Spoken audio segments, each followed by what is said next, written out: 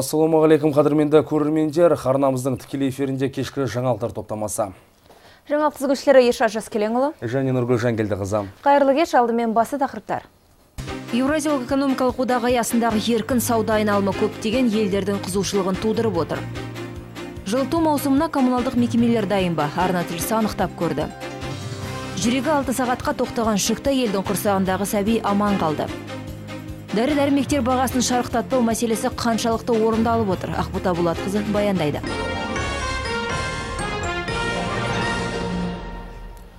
Еуразиялық экономикалық одақ аясындағы еркін сауда айналымы көптеген елдердің қызығушылығын тудырып отыр. Олардың ішінде Үндістан, Мысыр, Израиль, Сирия бастаған Индонезия, Иран, Корея, Монғолия, Эквадор, Перу мен Чили қостаған елдер бар. Бүгін Астанада өткен халықаралық форумға Еуразиялық экономикалық одақ пен Шанхай ынтымақтастық ұйымына мүше елдердің парламент депутаттары қатысты. Жиынға Қазақстанның үкімет басшысының орынбасары Бақытжан Сағынтаев та бас сұққан еді. Оның айтуынша бүгінде Еуразия экономикалық одағы және Шанхай ынтымақтастық ұйымы мемлекеттері экономикаларының жиынтық көлемі 13 миллиард долларды құрап отыр. Бұл жалпы әлемдік жалпы ішкі өнім көлемінің 16 пайызын құрайды. Астанадағы бұл басқосу Еуразиялық экономикалық одақ құру аясында қол жеткізілген жетістіктер мен әлі де шешімін таппай отырған проблемаларды талқылау жиыны болды. Бүгінде Еуразиялық экономикалық одақ пен Шанхай ынтымақтастық ұйымының құрамына кіретін мемлекеттердің экономикаларының жиынтық көлемі 13 триллион ақш долларына жетті. Бұл әлемдік жалпы ішкі өнім көлемінің 16 пайызын құрайды. Бүгінде еркін сауда айналымын құрған Еуразиялық экономикалық одаққа қызығушылық танытып отырғандар қатары артты дейді вице-премьер. К примеру, создание зоны свободной торговли Союзом еркін сауда аймағын құрған одаққа қызығушылық танытып отырған елдер қатары артты. Мысалы үндістан мысыр израиль сирия индонезия иран корея моңғолия елдері қызығушылық танытуда. Ендігі израиль мысыр үндістан елдері еркін сауда аймағын зерттеу жұмыстарын жүргізуге келісімге келді. Иранмен де осындай келісім бар. Қытаймен де сауда экономикалық ынтымақтастық туралы келісімді бекіту жөнінде келіссөздер жүргізіп жатқаны айтылды. Бұл орайда мәжіліс төрағасы аталмыш одақпен жібек жолы экономикалық белдеуін іске асыру жол картасын әзірлеп мемлекет басшылары қарауына енгізу керектігін айтты. Будут составлять базовые основы экономического еуразиялық экономикалық одаққа мүше елдер қытаймен экономикалық ынтымақтастық аясында жібек жолы жобасына баса назар аударып отыр. Бұл осы одаққа мүше елдердің халықаралық көлік коммуникациялық дәлізіндегі көлік инфрақұрылымын дамытуға бағытталған жоба. Сондай-ақ еуразиялық экономикалық одақтың еуропалық одақпен серіктестігі сөз болды. Еуразиялық экономикалық комиссияның алқа төрағасы виктор христиенконың айтуынша үкімет басшылары мақұлдаған еуразиялық экономикалық одақ пен еуропалық одақ арасындағы қарым қатынас дамытуға арналған көзқарастар туралы жадынама жасалды. Ол қазіргі уақытта одан ары бірлесіп әзірлену үшін еуропалық комиссия басшылығына берілді. Дегенмен бұл одақ аясындағы жетістіктермен бірге кемшіліктер де жоқ емес. Конечно чем больше делаешь тем больше возникает вопросов. Әрине жаңа іс бастаған сайын оның мәселелері де көбейеді. Тіпті проблема келіспеушіліктер де туып жатады. Қазір бірқатар орын алған проблемалар шешімін таппай интеграцияда оның шаруасы болмай қалды. Халықаралық форум соңында арнайы құжат қабылданды. Бұл еуразиялық экономикалық одақ пен жібек жолы экономикалық белдеуі жобасын ұштастыру туралы шешім жайында. Әсел мәбілдинова ғайзат оспанов тдк қыркүйек телеарнасы астанадан Еуроодақ елдерінде қашқындарға кеткен қаражатты есепке алмауға рұқсат берілмек. Әлі аяқтала қоймаған тек 2015 жылы Еуропаға теңіз арқылы өткен мигранттар саны рекордтық деп саналып отыр. Ол Олардың саны 430 мыңнан асып шығылады. Бұл былтырғы жылмен салыстырғанда екі есеге көп. Еуроодақ елдерінде қашқындарға кеткен қаражатты есепке алмауға рұқсат берілуі ықтимал. Еуроодақ елдерінде көші-қон дағдарысына жұмсалған ақша есепке алмай, оның бюджет тапшылығын есептеу мүмкіндігін береді. Бұл туралы Люксембургте өткен кездесу барысында Европа төрағасы Эйрон Десейблум мәлімдеді. Мұнда ерекшеліктерге рұқсат беруге Австрия шақырады. Еуропалық заң бойынша еуро аймағындағы елдер бюджетті тепе-теңдікті сақтауы тиіс. Ал Австрия көші-қон дағдарысынан зардап шеккен елдердің бірі және былтырғы жылы қажетті нормаға жетті. Ел бюджетінің дағдарысы бар болғаны 0,4 пайызды құрады. Алайда биыл мигранттардың ағынымен туындаған тапшылығы екі есе өсуі мүмкін. Ендігі таңда Вена шарттарды өзгертуге шақыруда. Біз Мастрихи критерияларын жеңілдетулерін қалаймыз. Біз тек апат кездеріндегідей бұл қаражаттарды алынып тасталсын дейміз. Еуропаның экономика және қаражат бойынша комиссары бұл ұсынысты Еуропалық комиссия қарастыратынын айтты. Біз бұл мәселені құқықтық, қаржылық және экономикалық аспектілерін бағалап қараймыз. Содан кейін одақпен бұл сұрақты талқылаймыз. әлі аяқтай қоймаған тек 2015 жылы Европаға теңіз арқылы өткен мигранттар рекордтық деп саналып отыр. Олардың саны 430 мыңнан асып жығылды. Бұл былтырғы жылмен салыстырғанда екі есе көп. Ағымдағы жылы шаһарымыздағы жылту желілерін жөндеп, жаңғыртуға 154 миллион теңге бөлінсе, қазандық шаруашылығын қалпына келтіруге 600 мың теңге қарастырылған. Бұл туралы бүгін коммуналдық басқарма және қала әкімдігі өкілдерімен өткен кездесу брифинг барысында белгілі болды. Жергілікті билік өкілдері шаһарымыз алда келе жатырған қиындықтар мен қыстың қаһарлы тосын сыйларына дайын деп сендіреді. Сюжетке зер салсақ. Өткен жылдың сәуір айында шаһарымыздағы жылыту маусымы тоқтатылған соң қалалық әкімдікте арнайы басқосу оздырылып, онда алдағы 2016 жылдарда атқарылатын жұмыстар нақтыланған болатын. Жаз бойына коммуналдық мекеме қызметкерлері шаһарымыздағы 8 шақырымнан астам жылыту желісін жаңалаған көрінеді. Из 1160 Бүгінгі таңда жылыту маусымына дайындық толыққанды аяқталды десек болады. Қазірдің өзінде 13 әлеуметтік маңызы бар нысандарға, оның ішінде аурухана, мектеп, балабақшаларға жылу берілді. Бұл жұмыстар әлі де өз жалғасын таба бермек. Ал ауа райы 3 күн бойына 10 градус жылылықтан төмен болса, барлық тұрғын үйлерге жылу берілетін болады. Қыстың қаһарлы аяздарына біз дайынбыз. Жалпы қаламыздағы барлық жылыту жүйесіне үш ай бойына күрделі жұмыстар жүргізіліп, құбыр жолдары қазылды. Нәтижесі болды деуге келмес. Себебі өлкемізде жыл сайын қыстың ызғары күшейіп, түрлі апаттар орын алатын тәжірибеде анық белгіленген. Осындай оқылықтардың алдын алу мақсатында жаз бойына тұрғындардың жүріп тұруына біраз кедергі келтіргенімен, құбырлар сапалы жөндеуден өтті деп сендірді мамандар. В текущем году на эти мероприятия Ағымдағы жылдың 26 мамыр күні әкімдікте ауқымды жиын оздырылды. Ол жерде өңірімізде атқарылар барлық жұмыстар талқыланып, оған қажетті қаражатта қарастырылған болатын. Жалпы барлық жылту маусымына дайындық жұмыстарына 4 миллиард 300 миллион теңге бөлінді. Оның 800 миллион теңге қаражаты Жайық энерго акционерлік қоғамы, Батыс су арна жауапкершілігі шектеулі серіктестігі, Батыс электр тораптарын таратушы компания сынды мекемелерден өндірілді.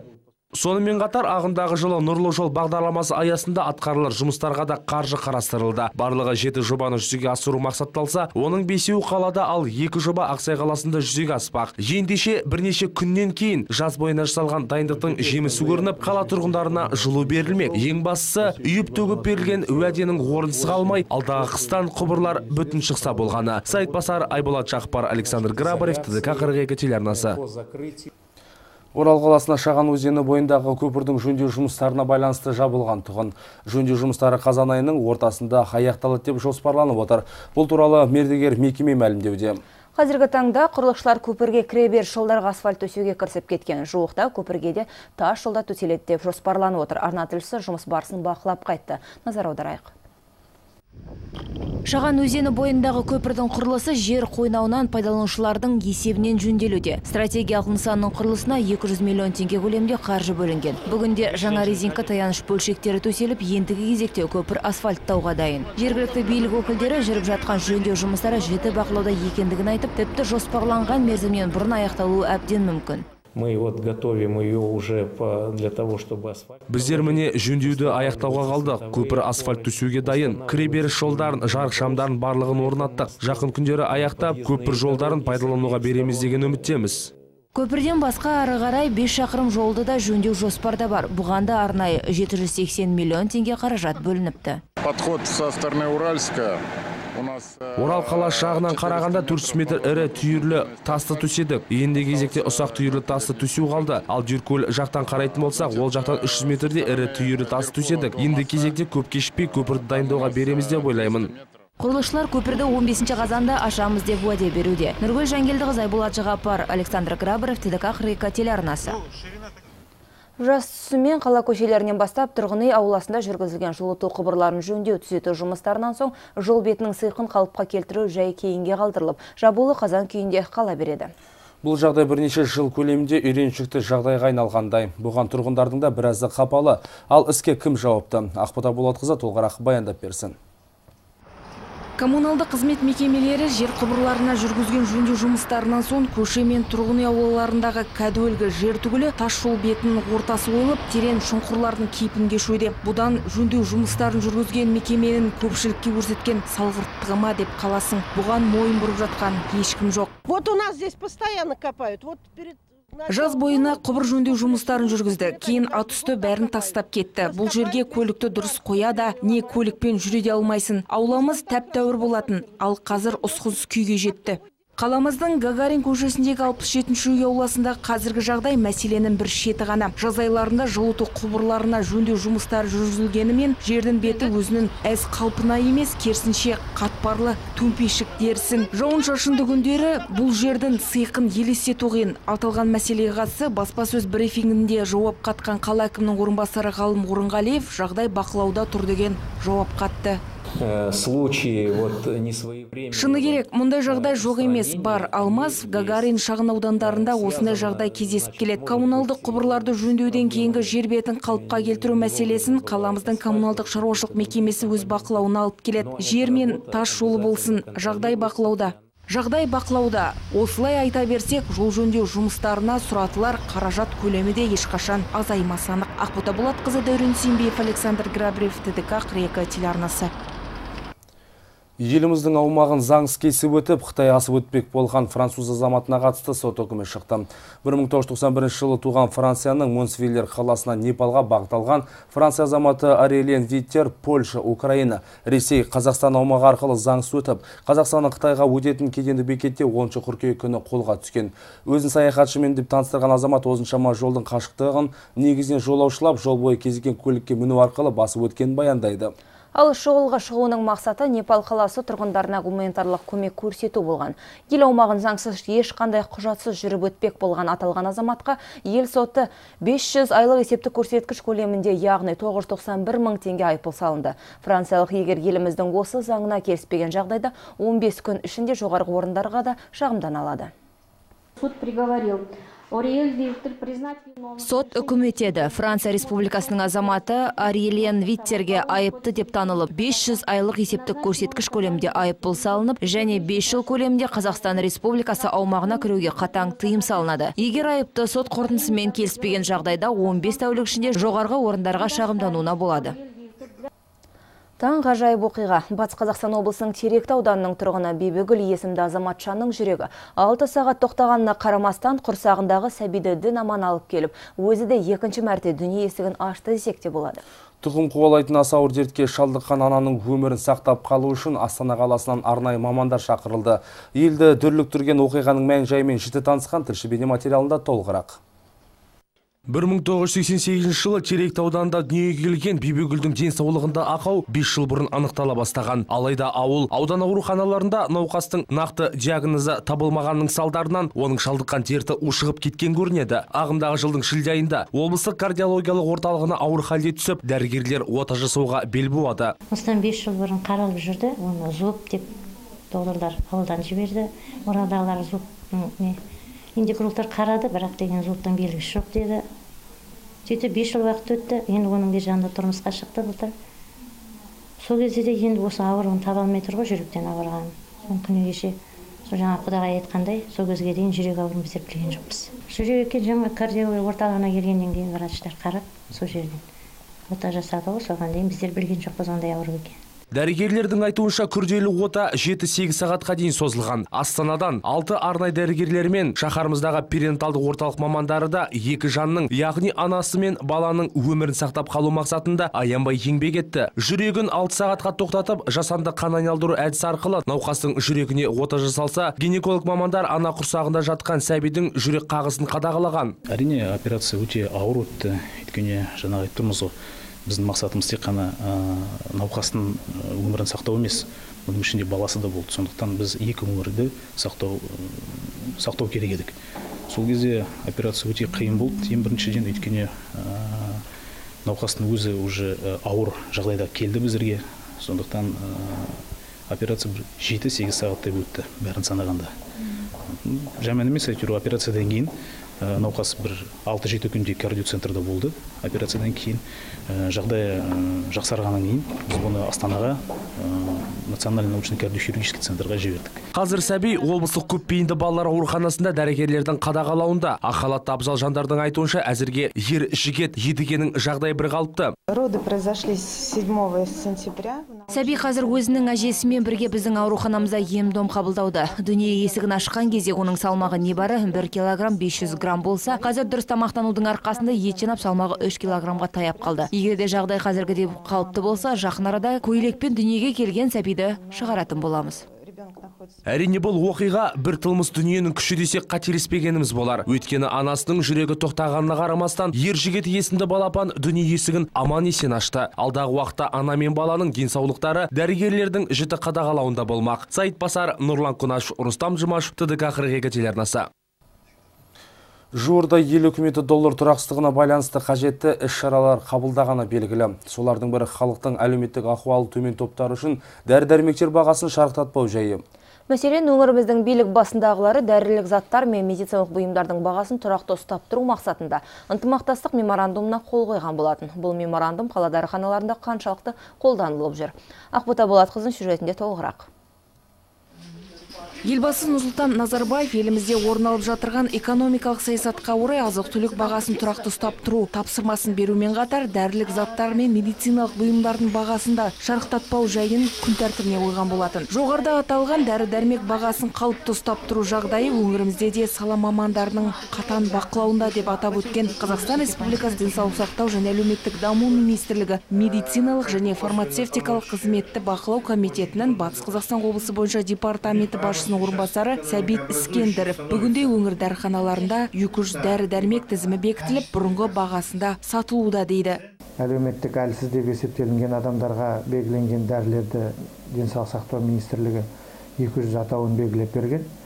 Сол туралы біздің облыстың әкіміменен осы негізгі дәрілік заттарды облысқа жеткізуші көтерме саудамен айналысатын мекемелермен меморандумға қол қойылған болатын. Ол меморандум бойынша жылдың аяғына дейін екі жүз сол атаулы дәрінің бағасы өзгермейді. Өзгермейді. Ал басқа дәрілер ол жаңағы конкуренттік ортада болғаннан кейін сосын шетелден енгізілетін болғасын аздап көтерілуі мүмкін. Бұл 200 дәрі-дәрмек түрін халық көп тұтынады. Әсіресе әлеуметтік жағдай төмен адамдар сатып алуға қолайлы. Сондықтан да дәрі-дәрмек бағасына жауаптылардың негізгі міндеті меморандумды негізге ала отырып, бағаны тұрақты бақылауда ұстау дейді сала мамандары. Қаламыздың дәріхана меңгерушісі Татьяна Киричко да бұл пікірге толықтай қосылады. Ал тізімге енбеген дәрі-дәрмек бағасының барлығы дерлігі сырттан әкелінгендіктен өндірушілер өздері қымбат бағада әкелуде. Бізде бағаны қосудамыз дейді В каждой аптеке на видном месте вывешен... Әр емханада баршаға көрінетін жерде халықтың әлеуметтік ахуалын төмен топтары үшін 200 дәрілік заттары мен медициналық бұйымдардың бағасы тұрақты түрде белгіленген. Бұл тізімге енгізілген дәрілер тұрақты болған бағамен сатылуда. Ал жаңа дәрі-дәрмектердің бағасын өндірушілер өздері сәл қымбатқа әкелгендіктен баға 20 пайызға қымбаттады. Осындай жолмен дер кезінде шара қолдану ел үкіметінің дағдарысқа қарсы қадамдарының бірі. Осыған орай медициналық және фармацевтикалық бақылау комитетінің аймақтық департаменті 200 дәрілік заттар мен медициналық бұйымдардың бағасын бөлшектеп сауда жасаушылар өз еріктерімен өсірсе, оларға тиісті шаралар қолданылмақ көрінеді. Ақбота Болатқызы Дәурен Сүйінбеев, Александр Грабрев, ТДК 42 телеарнасы. Шаһарымыздағы орталық базар аумағындағы күнделікті орын алатын ұсақ құқық бұзушылықтарды болдырмау үшін жаңа 10 бейне бақылау камералары орнатылды. Бұл туралы Орал қалалық ішкі істер басқармасының қызметкерлері мәлімдеуде. Полиция қызметкерлерінің пайымдауынша базар аумағындағы басты мәселе ол күнделікті көше бойында заңсыз қоқыс алаңдарының пайда болуы. Егер де бейнебақылау камераларының саны көп болса, онда нақты айғақтар мен құқық бұзушыларды жазаға тартуға болатындығын жеткізді. Толығырақ тілші бейнематериалында.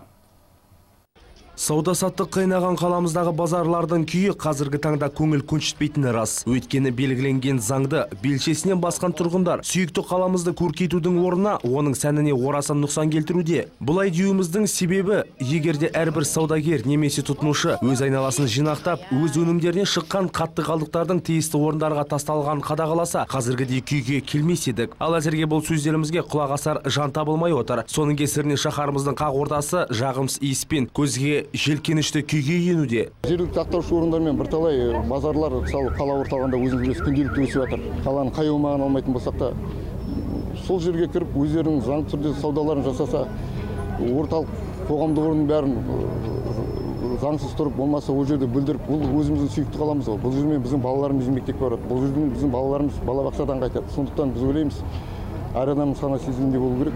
Сауда сатпа деп біз тыйым қоя алмаймыз. Сауда сатуға қазір жергілікті атқарушы органдармен бірталай жағдай жасалған.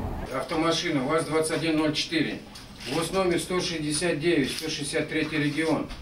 А, Зафиксирован под камерой видеонаблюдения. Значит, данная машина сужает проезжую часть. біздің білгеніміздей қазіргі таңда орталық базар аумағында төрт заманауи бейнебақылау камералары орнатылған дегенмен бұл құрылғылардың көмегімен ауқымды базар аумағын толығымен қадағалау мүмкін болмауда бір өкініштісі теледидар арқылы базар аумағындағы қалыптасқан қоқыстан шыққан иісті сездіру мүмкін емес жағымсыз иіс жүрек айнытып бала тұрмақ ересекке төзгісіз где круглосуточно происходит выброс мусора. біздің мекеме күнделікті шаһарымыздағы барлық үлкен базарлар аумағын тазалап ондағы қоқысты 18 ауыр жүк көлігімен тиіп шығарудамыз. дегенмен одан еш қайыр болмауда біріншіден сол жердегі адамдар санитарлық нормаларды мүлдем қадағаламайды. Бойларына жасалған іске жауапкершілік алғысыз жоқ. Ондағы сыртта тұрған саудагерлер немесе дүкен сатушылары өз өнімдерінен шыққан қоқыстарды тиісті жерлерге лақтырмайды. сондықтан да барлық қала тұрғындарын қаламызды таза ұстап оның көркеуіне қоғам болып атсалысу керек. Әрине базар аумағындағы мәселе жалғыз қоқыс емес. Сонымен қатар бұл жерлерде ұсақ құқық бұзушылықтар азаматтарды немесе олардың көліктерін тонау сынды қылмыстар да жеткілікті. Бұндай жағдайларда кінәлі тарапты тез арада табуға мол мүмкіндік беретін сол бейнебақылау камералары. Айта кетейік орталық базар маңынан жаңа 10 камераны қамтамасыз етуге жергілікті бюджеттен 3 миллион теңге қарастырылып отыр. Сайт нұрлан конаш рустам жұмашев тдк қырық екі телеарнасы. Жақсының жақсылығын айт нұры тасысын. Аймағымыздың Ақжол Халық демократиялық партиясы Батыс Қазақстан облысы филиалы атынан қам көңіл жандарға жасалынып жатқан мейірім толастамаса азаяр емес. Мәселен қаламыздың кішкентай өнерпазы 10 жасар Айқын Бектов аталмыш партиямен жеке кәсіпкер Роза Мансурова атынан киім-кешек азық-түлік сый сияпатына бөленді. Егілі мол шара жөнінде Ақбота Болатқызының сюжетінде толығырақ. Әжесімен бірге Ақжол Қазақстан демократиялық партиясы Батыс Қазақстан облысы филиалы кеңсесіне келген мектеп оқушысы Айхан Бекетов дәстүрлі өнер әлемнен кенже емес. Кішкентай балақайдың партияға арнайы келуінің мақсаты жақсылық мейірімін төге білген өңір азаматтарына жырдан шашу сыйламақ ниетте.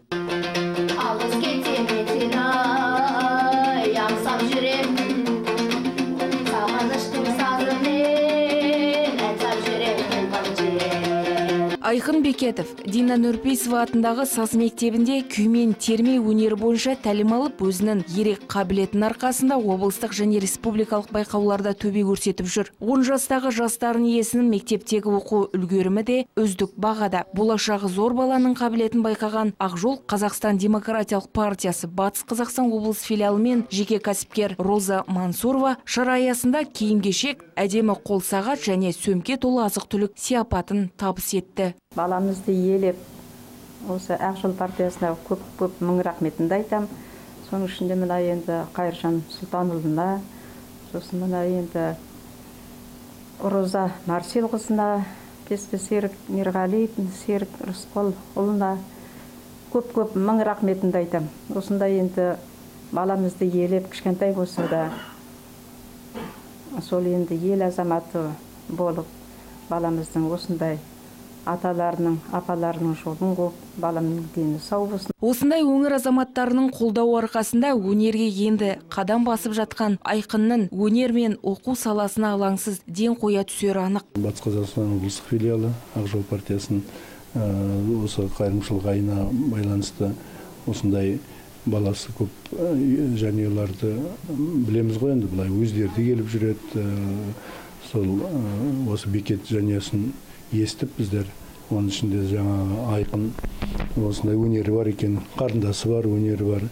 Ә, біздер қолдайық деп сол біздің ә, кәсіпкерлер мансурова роза марселқызы біздің ә, тө- төрағамыз псп серіктестігінің бас директоры мерғалиев серік роланович осындай бір құрмет өткізіп жіберейік құрметтеп жіберейік деп шақырғанымыз әжесімен келіп осы бүгін танысып жатырмыз Партия атынан қолға алынған мұндай игілігі мол шара қайырымдылық акциясы шеңберінде ұйымдастырылып отыр. Ақбота Болатқызы Дәурен Түйенбиев, Александр Грабрев, ТДК 42 телеарнасы. Жаңалықтар соңында алдағы күндерге болжанған ауа райы мәліметтеріне кезек берсек. Алтын күздің шуақты күндері таяп, ертеңнен бастап өңірімізде жаңбыр жауы ықтимал. Күн райы салқындап, көз мезгілі алдағы аптадан бастап тосын сыйларын дайындап отыр. Қазгидромет мамандарының пайымдауынша ашық күндердің райы біздің өлкемізде осы жұманың аяғына дейін жалғасып, кейін ауа температурасы төмендемек. ертең жаңбыр жауады бейсенбіден бастап аптаның соңына дейін ашық ауа райы күтіледі жел солтүстік батыста 9-14 ауа температурасы түнде 0,5 градус аязға дейін күндіз 3-8 градус жылға дейін төмендеуі күтіледі Құрметті көрермендер, арна тілшілерін дайындаған жаңалықтар легі осындай болды. Қадірменді ағайын айтар әңгімем салмақты, ұрпағымыз сауатты болғай. Келесі кездескенше сау, аман болайық. Жаңалықтар демеушісі батыс мұнай газ жабдықтары